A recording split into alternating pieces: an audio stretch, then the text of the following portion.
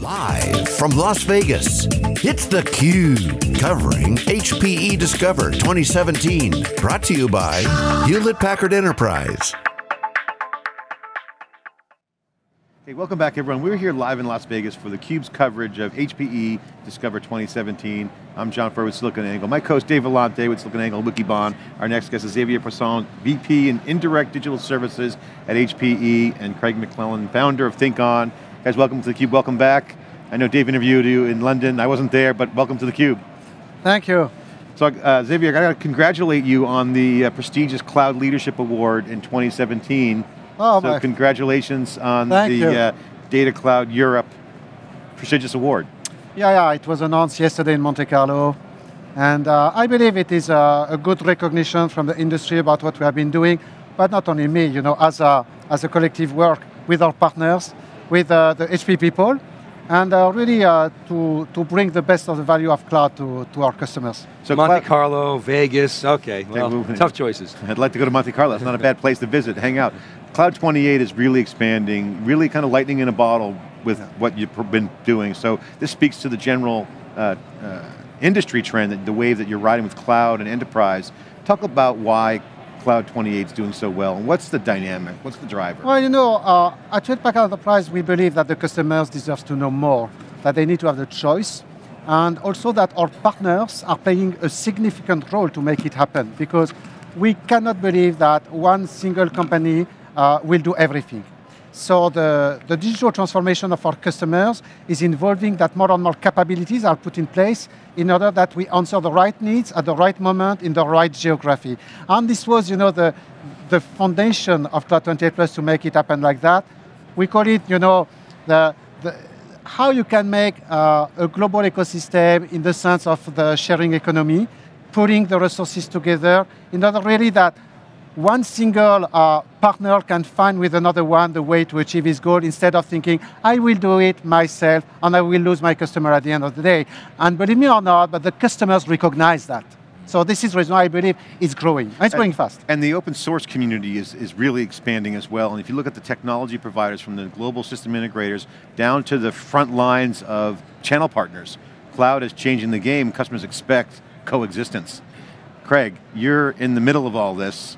What are some of the frontline dynamics with customers? Because they're going to be getting a lot of services from a variety of different vendors and suppliers. No one size fits all anymore. Uh, that is so true, more than ever. Uh, I think it falls into three categories. One is all the customers expect partners and their service providers to focus on integration with others, treat each other as peers. Uh, whether you call it uh, collaboration or coopetition, it's still an issue that uh, the, the customer more than ever is expecting their providers to facilitate. Uh, secondly, they're very impatient. Uh, everything is about now or five minutes ago, and there's very low tolerance for the traditional engagement model. Yeah.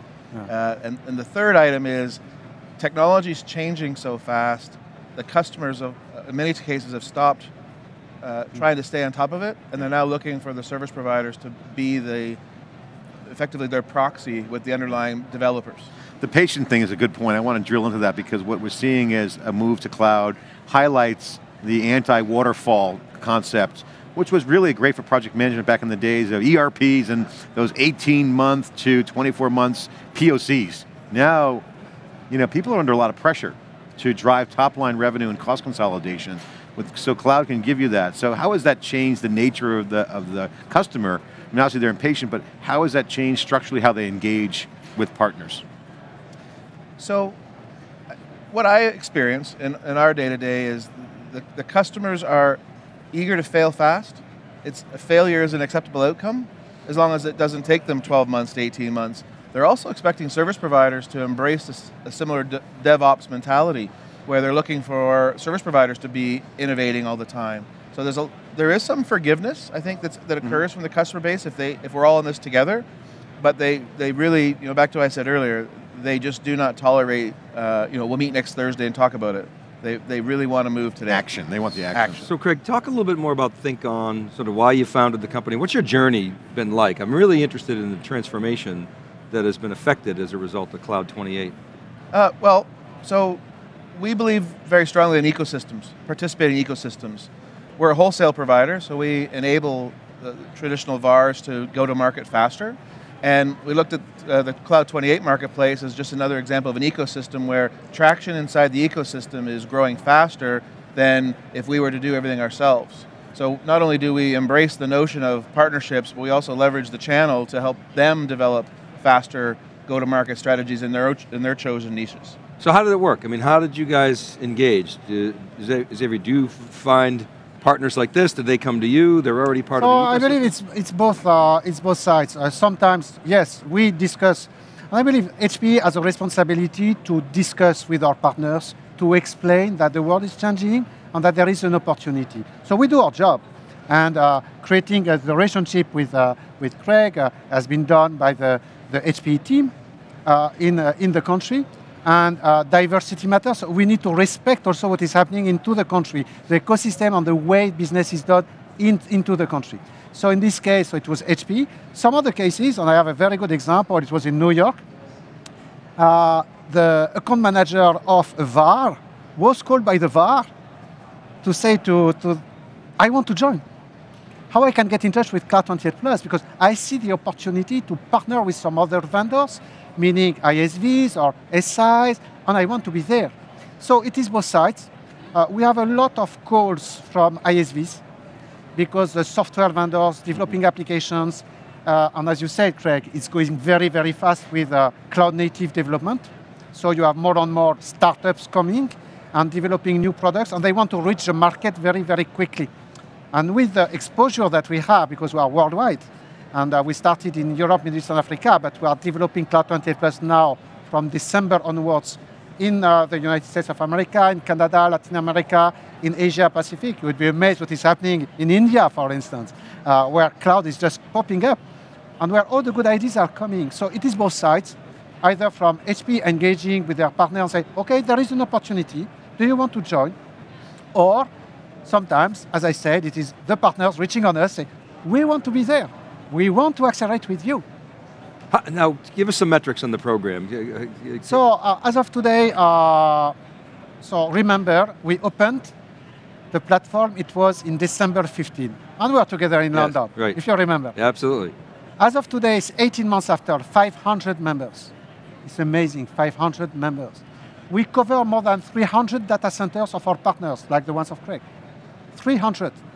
And we have uh, published nearly 18,000 cloud services on the platform out of 2,000 unique. And we have nearly now 40,000 hits per month on the website. It's really amazing. I can tell you it's a snowball effect. And um, it's not only the end user customers, but uh, we have a lot, a lot of traffic inside the platform between members who are building new offering. So for instance, we have been speaking here at Discover of the Ormco offering that has been uh, announced uh, running on Discover, this is coming out of Cloud 28 Plus, typically, and we see that here. Uh, there is another offering that uh, HP Pointnext is proposing now as a service, which is a legal identity by Lequa, which is a software company in the Nordics, coming out of Cloud 28 Plus. So uh, expanding dramatically well. So this really highlights the pay-as-you-go cloud business model, yeah. And it gives ISVs and VARs and VABs the portfolio approach Yep. Kind of that, so they're kind of organically putting this together versus the old channel model of predefined programs and products being shipped out to partners. You can pop services in here and then your customers can roll their own solutions. That's right. Is that, is that, am I getting that right? Absolutely. I also think that one of the things that is a real value add is a lot of organizations are concerned about vendor lock-in. No. And when you build a consortium, like what HPE has done, it forces the service providers to uh, participate in a way that avoids lock-in. Every service provider wants to build a lock-in strategy, but there's subtle ways that you can do it that aren't offensive, and then there are offensive ways. Yeah. And I think the Cloud 28 co- co- consortium is really doing a good job on giving customers the comfort that they can adopt services, but they're not locked in. Let's call it sticky. What's the best go. way for somebody in the channel to create stickiness and loyalty with their customers? in my experience, they have an existing ecosystem that they've been working with for a long time, whether it's HPE or Veeam or another software vendor. And that's an ecosystem that their sales organization understands. It's an ecosystem their their own support organization understands. I think you should always start a, a nice simple step within an ecosystem you already know, and then take the next step, turn it into a recurring revenue stream without trying to start from scratch. Blank slate is always exciting to the to the people that are paid to do it, but unfortunately, the outcome is usually not on time and on budget. But there's lots of little steps you can take with, with existing ecosystem partners. Kind of familiarity, you know, ease of doing business, Yep. you know, track record, all those kinds of Customer things. Customer trust. Yeah. So I mean, Trust. I, I mean, you know, we use the term lock-in, but that's sort of that's really what we're trying to achieve is trust and loyalty. Yep. Yeah. So The new lock-in is scale, openness, and trust. Uh, question on some of the tactical things. I mean, channels have always been a beautiful thing. and direct to sales is a great cost per order dollars. The numbers are great, but you got to get it going, right? So you got some the flywheel rolling with Cloud 28. How do you nurture this? I mean, obviously it's organic. There's some community involved, training and getting out there. I mean, how is it running? I mean, I'm just trying to understand. This is a really good formula. Is there a magical formula? Is there certain training? Is it done in the community, peer to peer? So it is amazing because it is, uh, it is driven by uh, listening to the people and I would say educating everybody in the value chain and the salespeople at HPE, the pre-sales at HPE, and the people within our partners and the end user customer that they need to think business outcome. And once you shift from transactional selling to thinking business outcome, all the things are getting together because you think what your customer and your customer's customer wants to do on how you will help your customer to achieve his business goals. And you spoke about agility, time to market. Yeah. These are things you can create with assembling all, the, all what is into Cloud 28 Plus. I have a big example of we use our Cloud 28 Plus to answer very large multi-million dollar RFPs. Why? Because multi-cloud is a reality. So large governments, enterprises wants to deploy clouds in many areas, not always putting everything in the same, uh, in the same data center. They want also that you have a good mix of technologies, a good mix of usage, and then you, you end with uh, RFPs which are giant. And especially when everything is coming to IoT, to the sprawling of, data, of data, you need to have data analytics, high performance computing. It is becoming a nightmare. So we had a very good example with uh, a big RFP in Europe. It was all about collecting all the open data that are produced by the satellites in the sky and to put all this data available for all the SMBs in Europe. I can, I can tell you it was very complicated to do. You will not believe me. In less than three weeks, we were able to discuss with the right partners inside Cloud 28 Plus to build a consortium and to bid. Three weeks. Yeah. Would have never been able. Well, the thing about Yeah, yeah. cloud too, as you get into these scalable, horizontally scalable data opportunities, you also need specialism. You need to have expertise, and that to me really is an application specific, not peddling, you know, product. You actually, to your outcome perspective, you're solution providing, right? It's based back to listening. So, okay, final thoughts, guys. HP Discover 2017. What's the takeaway, Craig? Xavier, this year, what's the big story? Obviously, we heard Meg Whitman. You know, compute is, is kind of being redefined uh, and scaling. What's the big story here from your perspective?